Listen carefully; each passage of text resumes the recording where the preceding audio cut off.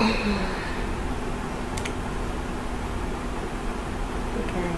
welcome to my channel.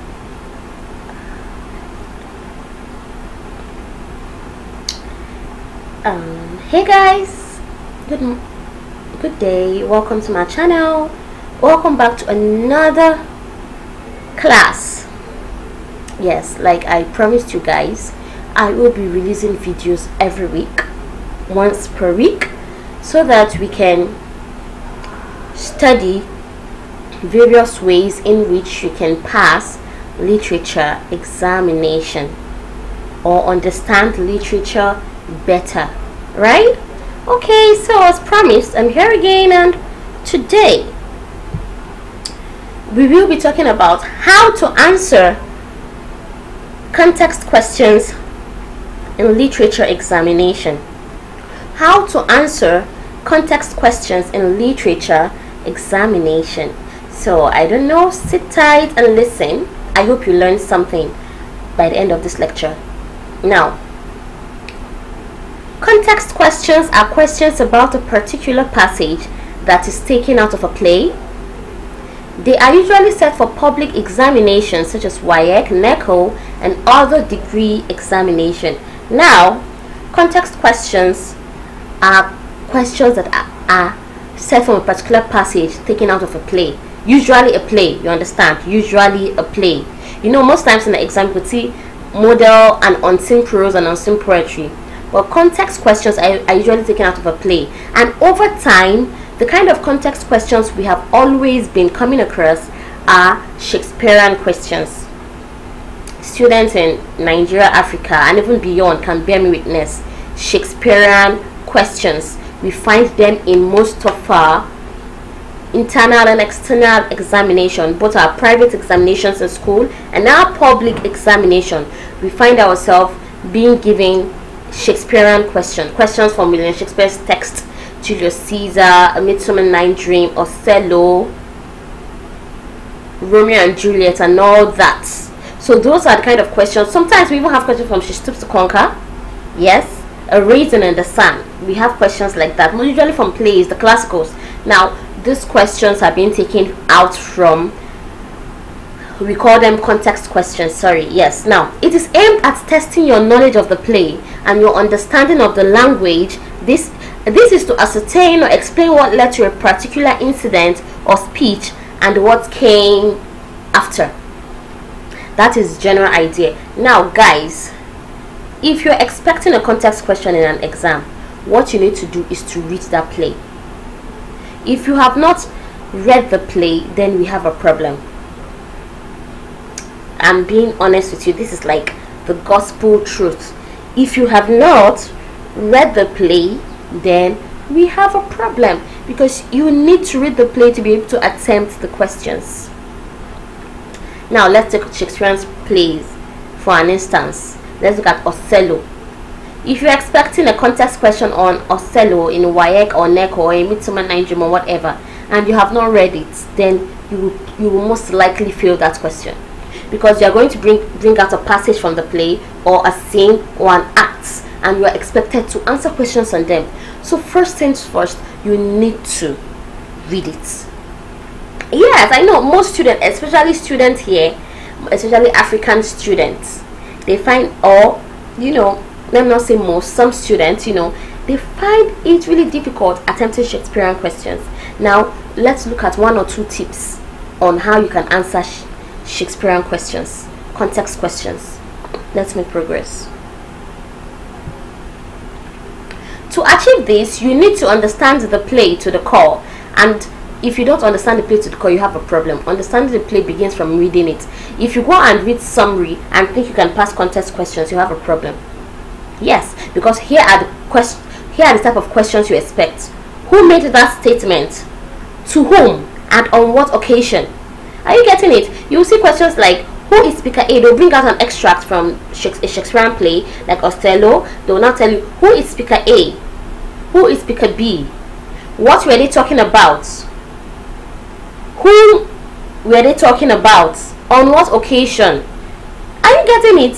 So if you want to read a summary of um, Othello, how do you expect to pass a context question? Like how, how, how?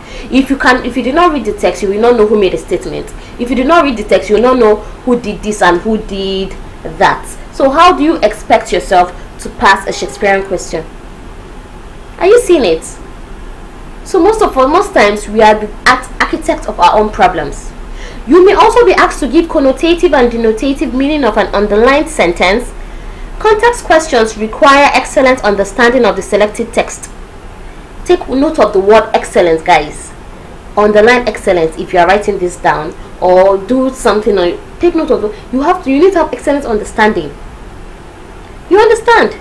Sometimes in context questions, most of you who go through past questions, maybe WAEC, NECO, GCE, SAT or whatever, sometimes they underline a sentence in that extract and they ask you to tell us what it means. Now, if you have not read that scene well and read what really transpired, you might not be able to really interpret what that particular scene was talking about. Are you getting that? But if you have read it well, why not? You should be able to tell us what that particular sentence means. Now, Shakespearean text, most times the language is complex. Yes, are, it is not the kind of English we speak now, and that is why some of this Shakespearean text we read comes with glossaries, comes with you know its own dictionary, so that you can look up some of these words, what he actually meant by that statement. Yes, but if you go and read only summary, we have a problem. How do you want to manage it? How do you want to attempt all these questions? Are you getting it? Now, therefore, students must pay attention to the following rules when reading a drama text. Now, 1. When reading a drama text, identify the writer and the title of the play where the passage is extracted from first. The first thing you do is, of course, you pick a text titled Othello, playwright William Shakespeare. Title Okay, Raisin in the Sun, playwright Lorraine Hansberry. Are you getting it? If you haven't done that, we have a problem. You should be able to identify simpler and short so that the moment you even see a scene, sometimes they write the extract and say, Speaker A, why did you do this? The moment you see it, you know, oh, this is Shakespearean. Sometimes the language tells me. When I read from this journal, I know that this is, is this person that wrote it. When I read from here, I know this is. Are you getting it now? Pay attention to the plot of the drama, very important. Note Take note of all the conflicts that occur in all the acts and scenes and also the various ways the conflicts are resolved. This boils down to reading. Summary might help you give you an, a general overview of the plot, but if you don't read, you would not understand. Excellent understanding. That is the word. Excellent understanding. Pay close attention to the lexical meaning of the words in the text by underlining some lexical terms. Yes, especially Shakespearean text. When I teach my students this text, I know what I do. They can bear me witness. I always tell them to underline words they find strange. Sometimes, of course, we act our plays. I ensure they act Shakespearean plays because that is the only way they can understand these plays. We act Shakespearean plays. Now, when we come across some strange words, we always underline. After the class, we now go back and we look up some of these words. Some students do it in the class. We look it up together and we correct ourselves. Okay, this means that. That means this. Are you getting it? So some of these terms you need to underline because you might find it in your exams. Yes. This is because you may interpret. Yes, they are English words, but not the English words we use now. So we can actually interpret the meaning of phrase in some lines. Ensure that you have adequate knowledge and understanding of the subplot and play within a play, if any. Not all Shakespearean plays have play within a play, but A Midsummer Night Dream is one of his plays that I know it has a play within a play. If you cannot remember, there is a play within a play in A Midsummer's Night Dream it was a wonderful play right? Yes theseus and all. So always take note of that. You need to understand the plot and subplots now most of these extracts are gotten from most shakespearean plays we have five acts act one to five and each act can have up to three four scenes.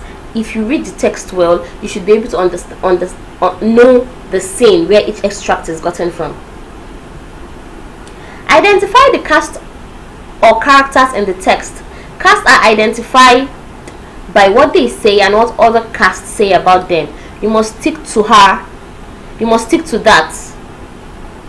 Sorry, that's an error. You must stick to the following I meant. Now,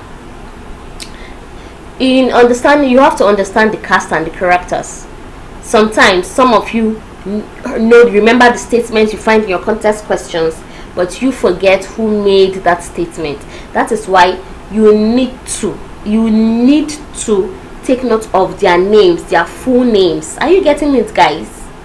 Thank you. Now here are questions you come across in contest question. Who is the speaker? If you've not read the text you wouldn't know. You can't just assume. To whom? When? That is, has to do with time. Now if you read the book you should be able to know where. Now it could be a street in venice a palace in venice the duke's chambers the council chamber othello's bedroom. There are so many venues. If you do not if you do not read the text you would not know where these venues are. But if you read the text like well you take it one step at a time you'll be able to identify where these venues are.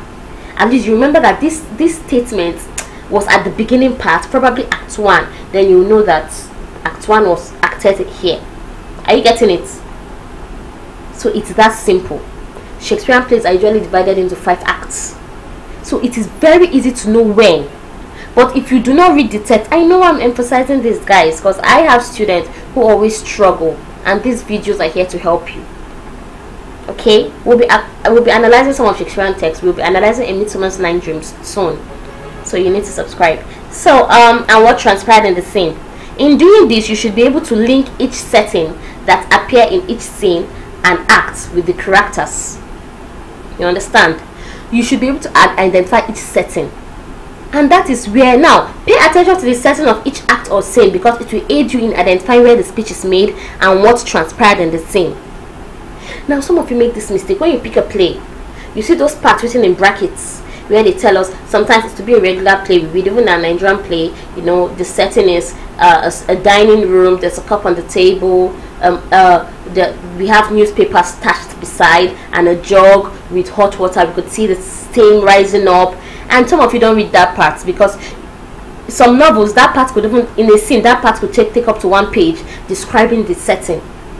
But if you must answer contest question that those are the parts you pay attention to. What some of you do so that you finish the novel on time you just ignore that part and you start reading. You just start reading. You go to the next scene. They will try to describe so you don't even read what is written in the description. You don't read you don't want to read the intro to that scene.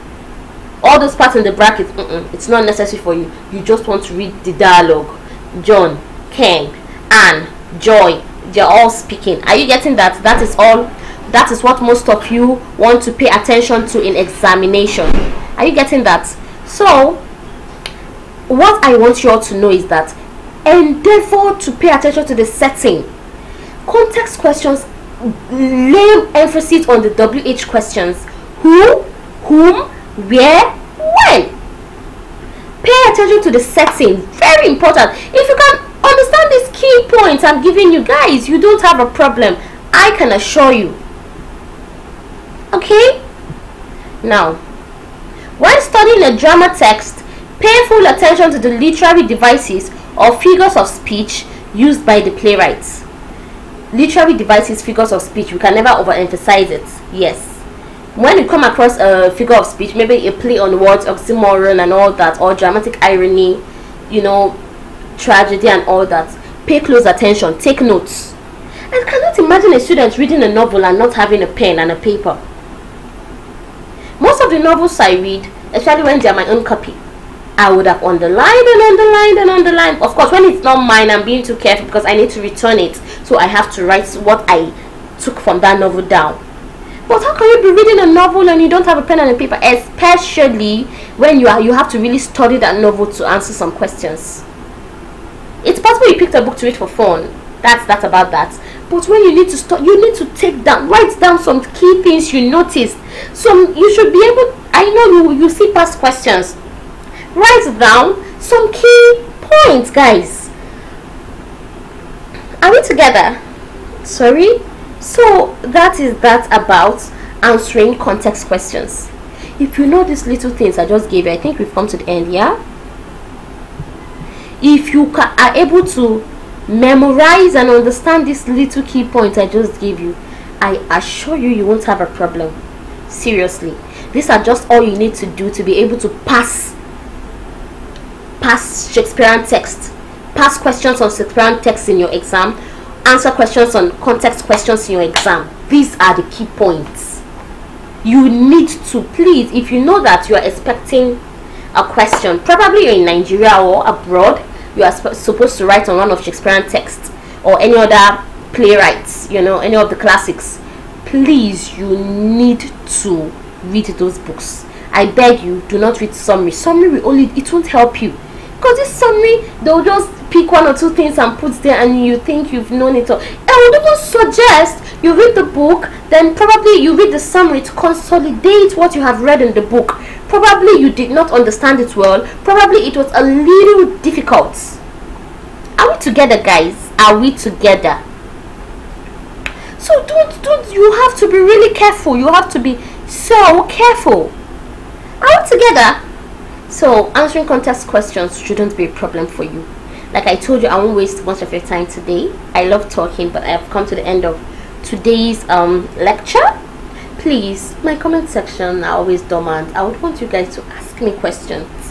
I don't know it all but the little i know i can most definitely provide some answers. Ask me questions. Go to the comments slide in type in your questions. I am here to answer them. This is what i do. I'm a teacher. I'm miss gift. Ask me questions inbox. You i got one or two messages inbox. That's cool i would respond to you wherever you are in this world in the country you need to okay? And please give this video a thumbs up. Please. I need this. And click the subscribe button. Just click on it. It doesn't take anything out of you. So that at least especially if you look forward to these videos if you need it. Daily tips i hope this video has been helpful to one or two persons. I hope it has. I really do. I really do. I appreciate your feedbacks suggestions observations. Now click the like button thumbs up. Give this video a thumbs up. Subscribe to this channel if you know anyone especially in the country in west africa africa and the world that needs this knowledge. Feel free to tell the person abc of literature with miss gifty. They should subscribe okay? They should subscribe. Okay i think i'll be signing off now. Thank you guys so much. Bye